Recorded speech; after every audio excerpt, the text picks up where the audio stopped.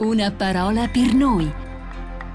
Commento al Vangelo della domenica a cura di Don Piero Rattin. Buongiorno. La pubblicità è l'anima del commercio, lo si sa. Di solito la si fa alle cose, ai prodotti che si vogliono vendere, oppure a certe persone. Di tanto in tanto le piazze e le vie appaiono tappezzate di manifesti elettorali sui quali splendono sorridenti i volti dei personaggi più disparati.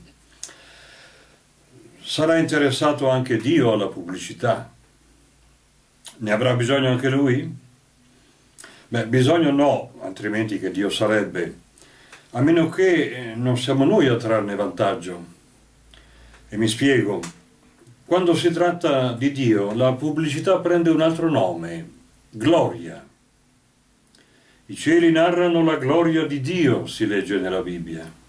È come dire il cielo, il firmamento, l'universo fa pubblicità, buona pubblicità a colui che l'ha creato.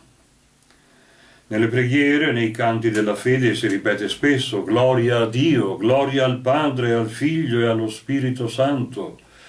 Lo si dice con le parole, con la musica, ma anche con le opere Anzi, per rendere gloria a Dio, l'umanità ha sempre cercato di dare il meglio di sé. Cattedrali imponenti, opere d'arte d'ogni genere, certe grandi espressioni della letteratura, della poesia, della musica, cos'altro servono se non per dare gloria al Padre, al Figlio e allo Spirito Santo. Sì, se n'è fatta pubblicità a Dio, ma è fuori dubbio che quella che gradisce di più è d'altro genere. E a questa forse non sempre si è prestato attenzione. I primi maestri del cristianesimo erano soliti ripetere la gloria di Dio è la persona vivente. Niente fa buona pubblicità a Dio come la persona che vive in pienezza la sua dignità. Cosa vorrà dire in sostanza? Quel Dio in cui crediamo si è preso il disturbo di insegnarcelo, da vicino, con pazienza, con progressività. È venuto a camminare con noi. E non solo questo ha fatto, dal momento che non basta sapere le cose, ma occorre essere capaci di farle, ci ha donato anche tale capacità, lo Spirito Santo.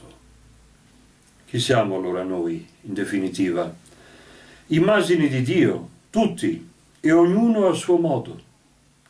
Ciascuno di noi è chiamato ad essere se stesso secondo la sua indole, perché Dio è uno. Nessuno tuttavia si realizza da solo, ma nell'apertura agli altri, nella solidarietà, perché Dio è famiglia, è Trinità.